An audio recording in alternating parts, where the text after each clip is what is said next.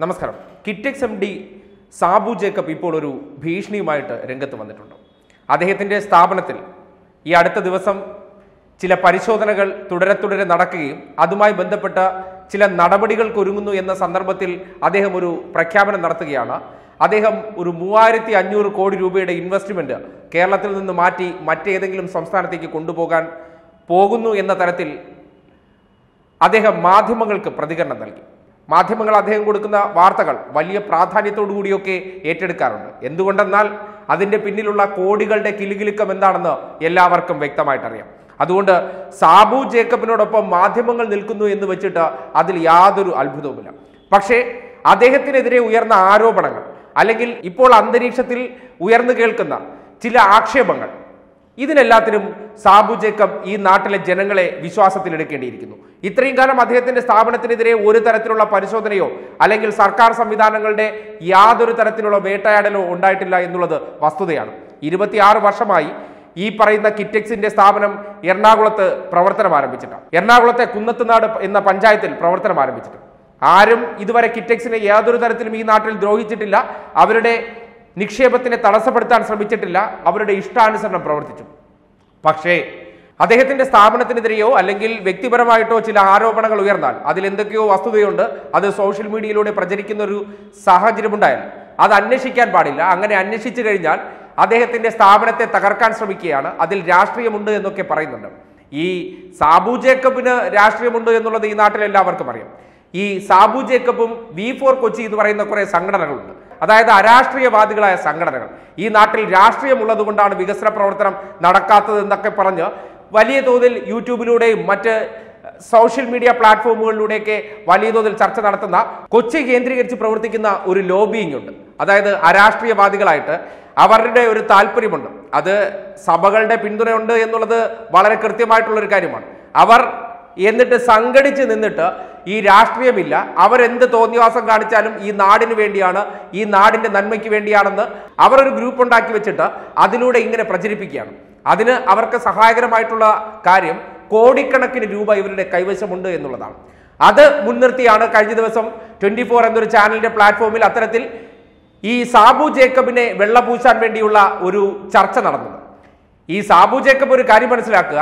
നിങ്ങൾ പതിനൊന്നായിരം തൊഴിലാളികളെ അവിടെ ജോലി ചെയ്യിപ്പിക്കുന്നുണ്ടെങ്കിൽ നിങ്ങൾ ചുളുവിനെടുത്ത് ആർക്കും പൈസയൊന്നും കൊടുക്കത്തില്ലോ തൊഴിലാളികളാണെന്നൊക്കെ പറഞ്ഞു. ഈ ഗാർമെന്റ്സ് മേഖലയിലെ തൊഴിലിടങ്ങൾ ഈ നാട്ടിൽ പരിശോധിച്ചാൽ അവിടങ്ങളിൽ എല്ലാവർക്കും തൊഴിലാളി വിരുദ്ധ പ്രവർത്തനങ്ങൾ മാത്രമേ നടക്കുന്നുള്ളൂ. നിങ്ങൾ തയ്യൽക്കാർക്ക് മിനിമം വേതനത്തിൽ കൂടുതൽ കൊടുക്കുന്നുണ്ട് എന്ന് പറയുന്നുണ്ട്. ഏകദേശം പതിനാറായിരം രൂപയാണ്. പക്ഷേ ഈ പതിനാറായിരം രൂപ ഒരാൾക്ക് കിട്ടാൻ വേണ്ടി ആ സ്ഥാപനത്തിൽ എത്ര കൊല്ലം ജോലി ചെയ്യേണ്ടി വന്നു എന്നുള്ളതാണ് പ്രധാനപ്പെട്ട ചോദ്യം. പത്തും പന്ത്രണ്ടും പതിമൂന്നും പതിനാല് മണിക്കൂറും ജോലി ചെയ്യിച്ചിട്ട് നിങ്ങൾ പതിനാറായിരം രൂപ കൊടുക്കുന്നത് ഓരോരുത്തരും പത്തും പതിനഞ്ചും വർഷമായി ഈ സ്ഥാപനത്തിൽ ജോലി ചെയ്യുന്നു എന്നതാണ് പുറത്തു വരുന്ന വിവരങ്ങൾ. അപ്പോൾ നിങ്ങൾ കാടടച്ച് വെടിവെക്കേണ്ട കാര്യമൊന്നുമില്ല. നിങ്ങൾ ശരിയാണെങ്കിൽ അല്ലെങ്കിൽ നിങ്ങളുടെ സ്ഥാപനത്തിൽ പരിശോധന നടക്കുന്നുണ്ടെങ്കിൽ നിങ്ങളുടെ കയ്യിൽ തെറ്റില്ലെങ്കിൽ എന്തിനാണ് നിങ്ങൾ ആശങ്കപ്പെടുന്നത്? നിങ്ങൾ ആരെയാണ് ഈ വെല്ലുവിളിക്കുന്നത്? ഈ നാട്ടിൽ നിങ്ങൾ കൊണ്ടുവരാൻ പോകുന്ന വ്യവസായ സ്ഥാപനങ്ങൾ അല്ലെങ്കിൽ ഈ നാട്ടിൽ നിക്ഷേപിക്കാൻ പോകുന്ന കോടിക്കണക്കിന് രൂപ നിങ്ങൾ മറ്റൊരു സംസ്ഥാനത്തേക്ക് കൊണ്ടുപോകുമെന്നാണ് പറയുന്നത്. ഒരു കാര്യം ഈ പറയുന്ന സാബു ജേക്കബ് മനസ്സിലാക്കേണ്ടതുണ്ട്. ഇന്ത്യയിൽ ഏറ്റവും കൂടുതൽ ശമ്പളം കിട്ടുന്നത് തൊഴിലാളികൾക്ക് ഏറ്റവും നല്ല വേതനം കിട്ടുന്ന സംസ്ഥാനം ഏതെന്ന് ചോദിച്ചാൽ അത് കേരളം എന്നാണ് ഉത്തരം.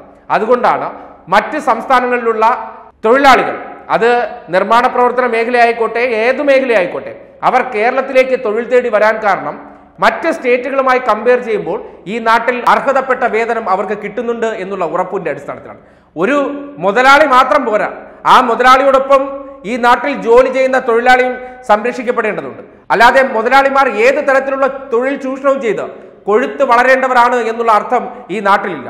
അതുകൊണ്ട് തന്നെയാണ് ഈ വിഷയത്തിൽ ഇപ്പോൾ നിങ്ങൾക്കെതിരെ പരിശോധന നടന്നിട്ടുണ്ടെങ്കിൽ അതിൽ രാഷ്ട്രീയം ആരോപിച്ച് നിങ്ങൾ ഒരു വിഭാഗത്തിന്റെ പിന്തുണയും സഹതാപവും നേടിയെടുത്ത് ഈ വിഷയത്തിനെ മറ്റൊരു വഴിയിലേക്ക് വഴി തിരിച്ചു കൊണ്ടുപോകാൻ സാബു ജേക്കബ് ശ്രമം നടത്തുന്നത് നിങ്ങൾ എന്തിനാണ് ഭയപ്പെടുന്നത്?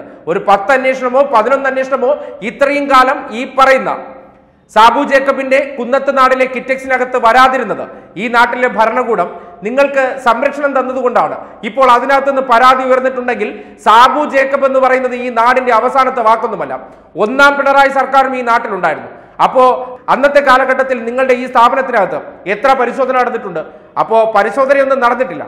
നിങ്ങളിപ്പോൾ പറയുന്നത് നിങ്ങൾ മൂന്ന് നാല് മണ്ഡലങ്ങളിൽ മത്സരിച്ചു പോയതുകൊണ്ടാണ് നിങ്ങളോട് രാഷ്ട്രീയമായ എതിർപ്പ് വന്നാണ് അങ്ങനെയല്ല മിസ്റ്റർ. നിങ്ങൾ ആ സ്ഥാപനത്തിൽ കുറേ ഏറെ പേരോടെങ്കിലും നീതികേട് കാട്ടുന്നുണ്ട് എന്നുള്ളത് വസ്തുതയാണ്. കഴിഞ്ഞ ദിവസം ആ സ്വകാര്യ ചാനൽ നടന്ന ചർച്ചയിൽ എന്തുകൊണ്ട് കോൺഗ്രസ് പ്രതിനിധിയെ ഒഴിവാക്കി ഒരു ബി ജെ പി പ്രതിനിധിയെ കൊണ്ടുവന്ന് ചർച്ചയ്ക്കിരുത്തിയിരിക്കുകയാണ്? എന്തിനു വേണ്ടി? അദ്ദേഹത്തെ എങ്ങനെയും വെള്ളപൂശി എടുക്കണമെന്നുള്ള ഒരു അജണ്ടയുടെ ഭാഗമായി. പക്ഷേ പൊളിഞ്ഞു പോയിട്ടുണ്ട്. കൃത്യമായി ഇടതുപക്ഷത്തിന്റെ പ്രതിനിധി ആ സ്ഥാപനത്തിൽ നടക്കുന്ന കാര്യങ്ങൾ ചൂണ്ടിക്കാട്ടിയിട്ടുണ്ട്. അപ്പോ ബി ജെ പിക്കാർ എങ്ങനെയെങ്കിലും ഈ സാബു ജേക്കബിന്റെ കൂടെ പിന്തുണ കിട്ടിയാൽ അവർക്ക് ഈ നാട്ടിൽ ഒന്ന് പിടിച്ചു നിൽക്കാൻ എറണാകുളം പോലൊരു മേഖലയിൽ ഒരു അവസരം കിട്ടും. അതുകൊണ്ട് ട്വന്റി ട്വന്റിയെ പിന്താങ്ങുകയാണ് ഇത്തരത്തിലുള്ള രാഷ്ട്രീയമൊന്നും ഈ നാട്ടിൽ നടക്കാൻ പോകുന്നില്ല എന്ന് സാബു ജേക്കബ് മനസ്സിലാക്കണം. ഈ നാട്ടിൽ കാര്യങ്ങളെ കൃത്യമായി വിലയിരുത്താൻ വകതിരുവുള്ളവരൊക്കെ ഈ നാട്ടിലുണ്ട്. നിങ്ങളുടെ കയ്യിൽ കോടികൾ ഉണ്ടെന്ന് കരുതി നിങ്ങൾ കുറെ മാധ്യമങ്ങളെയും പർച്ചേസ് ചെയ്ത് നിങ്ങൾക്ക് അനുകൂലമായ കുറെ രാഷ്ട്രീയ പാർട്ടികളെയും അല്ലെങ്കിൽ നിങ്ങളുടെ കയ്യിലിരിക്കുന്ന കോടികൾ കുറച്ച് അപ്പകഷ്ണങ്ങളായി സാധാരണക്കാരന്റെ വീട്ടിലെത്തിച്ചു കൊടുത്തിട്ട് നിങ്ങൾ ഈ നാട്ടിലിതാ ഒരു മഹാനായ വ്യക്തിയായി മാറുന്നു എന്നൊക്കെ പറയുന്നത് കാശിന്റെ കളിയാണ് മിസ്റ്റർ അതൊന്നും നിങ്ങളുടെ ആത്മാർത്ഥത കൊണ്ടൊന്നുമല്ല. അല്ലാതെ നിങ്ങളുടെ ഈ നാടിന് സ്നേഹമുള്ളത് കൊണ്ടൊന്നുമല്ല നിങ്ങളത് ചെയ്യുന്നത്. അങ്ങനെയാണെങ്കിൽ നിങ്ങൾ ഈ പഞ്ചായത്തുകളിൽ വിതരണം ചെയ്യുന്ന കാര്യങ്ങൾ. എന്തുകൊണ്ട് നിങ്ങളുടെ സ്ഥാപനത്തിലെ തൊഴിലാളികൾക്ക് നിങ്ങൾ അർഹതപ്പെട്ട വേതനം കൊടുക്കുന്നില്ല? മെറ്റേണിറ്റി ലീവ് ഇല്ല. ലീവ് കൊടുക്കുന്നില്ല. എന്തെല്ലാം തരത്തിലുള്ള പരാതിയാണ്? ഒരുപക്ഷെ ഇന്നലെ ആ ചാനൽ ചർച്ച പുരോഗമിക്കുമ്പോൾ അതിന്റെ സ്ഥാപനത്തിലും അല്ലെങ്കിൽ ചർച്ചയ്ക്ക് ഇരുന്നവർക്ക് പോലും നിങ്ങളുടെ സ്ഥാപനത്തിൽ നിന്ന് ഫോൺ കോൾ വരികയാണ്. അപ്പോൾ പറയുകയാണ് ഇത് ഡിവൈഎഫ്ഐക്കാർ വിളിക്കുകയാണ് അല്ലെങ്കിൽ ഇടതുപക്ഷക്കാർ വിളിക്കുകയാണെന്നുള്ള കാര്യം. പക്ഷേ നിങ്ങൾക്ക് ഒരിക്കലും ഉറപ്പിച്ചു പറയാൻ പറ്റാത്ത ഒരു കാര്യമുണ്ട്. എന്റെ സ്ഥാപനത്തിൽ നിന്ന് ഒരു വ്യക്തിയും അത് ചെയ്യില്ല എന്ന് എനിക്ക് ഉറപ്പിച്ച് പറയാൻ പറ്റുമെന്ന് നെഞ്ചിൽ കൈവച്ച് സാബു ജേക്കബിന് പറയാൻ പറ്റാതെ പോകുന്ന കാര്യം എന്തെന്നാൽ നിങ്ങൾ അതിനകത്ത് നടത്തുന്ന ഒരുപാട് തൊഴിലാളി വിരുദ്ധ പ്രവർത്തനങ്ങളുണ്ട്. ജയിൽ പോലെ കുറെ പാവപ്പെട്ട തൊഴിലാളികളെ കൊണ്ടുവന്ന് അടച്ചിട്ട് നിങ്ങൾ അവരെ ചൂഷണം ചെയ്യുന്നുണ്ട്. അവർക്ക് അർഹതപ്പെട്ട വേതനം നിങ്ങൾ കൊടുക്കാതിരിക്കുന്നു. അപ്പോ അതിന്റെ മറവിൽ നിങ്ങൾ ഈ നാട്ടിൽ വലിയൊരു തൊഴിൽ ചൂഷണം ചെയ്തിട്ട് ഞാൻ ഇവിടുത്തെ കോടിക്കണക്കിന് ഇൻവെസ്റ്റ് നടത്തിയ ഒരു ഇൻവെസ്റ്റർ ആണെന്ന് പറഞ്ഞാൽ അതിനെ പിന്താങ്ങാൻ ഈ നാടിന് സൗകര്യമില്ലടോ? അതാണ് അതിന്റെ യാഥാർത്ഥ്യം എന്ന് പറയുന്നത്. അല്ലാതെ സാബു ജേക്കബ് ചെയ്തുകൊണ്ടിരിക്കുന്ന തൊഴിലാളി വിരുദ്ധ പ്രവർത്തനങ്ങൾ എങ്ങനെയും പരിഹരിക്കാമെന്നല്ലാതെ ഞാൻ ഈ നാട്ടിൽ മൂവായിരത്തി അഞ്ഞൂറ് കോടി രൂപയുടെ വലിയ ഇൻവെസ്റ്റ്മെന്റ് നടത്താൻ ആലോചിച്ചിരുന്നു. അതിന് മറ്റ് സംസ്ഥാനങ്ങളിലേക്ക് കൊണ്ടുപോവുകയാണ്. നിങ്ങൾ കൊണ്ടുപോകും മിസ്റ്റർ നിങ്ങൾ ഇവിടെ മുപ്പത്തയ്യായിരം പേർക്ക് ജോലി കൊടുക്കുമെന്നൊക്കെ പറയുന്നു. മുപ്പത്തയ്യായിരം പേർക്ക് നിങ്ങൾ ജോലി കൊടുത്താൽ അവിടെ നിങ്ങൾ പ്രശ്നങ്ങളില്ലാതെ നിങ്ങൾ ജോലി കൊടുക്കണമായിരുന്നു. അല്ലാതെ നിങ്ങളൊരു പ്രത്യേക ലോകമുണ്ടാക്കി അതിനകത്ത് എല്ലാത്തരം നിയമലംഘനങ്ങളും നടത്തി നിങ്ങളൊരു രാജാവായിരുന്ന് അവിടുത്തെ ഒരു പ്രത്യേക രാജ്യമാക്കി ഭരിക്കാമെന്ന് പറഞ്ഞാൽ ഈ നാട്ടിൽ അത് നടക്കാൻ പോകുന്നില്ല എന്ന കാര്യം സാബു ജേക്കബ് അറിഞ്ഞിരുന്നാൽ നന്നായിരിക്കും.